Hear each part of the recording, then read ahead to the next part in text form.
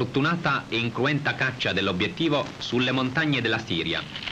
Seguendo un alpigiano pratico dei luoghi, l'operatore è riuscito a riprendere una delle bestie più timide e difficili ad avvicinare. La marmotta che si code al sole gli ultimi tepori prima di nascondersi nel suo rifugio sotterraneo per l'abituale lungo letargo invernale.